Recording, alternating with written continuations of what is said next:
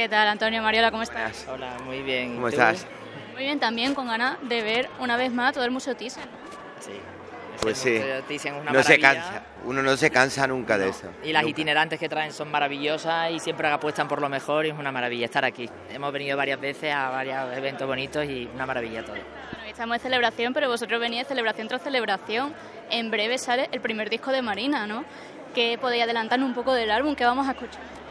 Pues un álbum lleno de emoción, se llama Mi Identidad porque es exactamente lo que ella ha sacado de sí misma, lo ha hecho ella todas las canciones una por una y, y un álbum que está lleno de emociones y lleno de momentos, así que con Y muchas se ganas. presenta este próximo día 16 En la Sala Villano. En la Sala Villano, así que estamos muy contentos.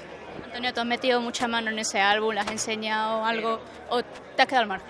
Mira, lo que más me gusta de ella es que ella se la ha hecho solo con varios productores, pero sobre todo la ha escrito y, ha- y la ha musicado, ¿no? Y eso dice muchas cosas de ella. Y Lucía también, que también está con su proyecto musical, pero os ha hecho abuelo, ¿eh? ¿Cómo es eso de tener el nieto en las manos?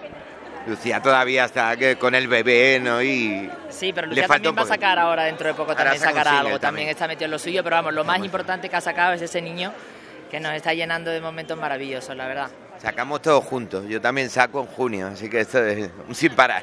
Tenemos también más Antonio, ¿no? Hace poco también tocaste en San Isidro, Sí, sí, sí. que ninguno de la familia para. No paramos, no paramos, paramos, gracias a. Dios. Muchas gracias, que. Gracias a vosotros. Gracias. Un abrazo.